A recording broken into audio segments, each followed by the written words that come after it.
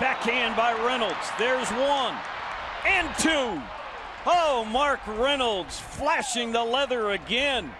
And we go to the ninth inning, still tied at 0 0.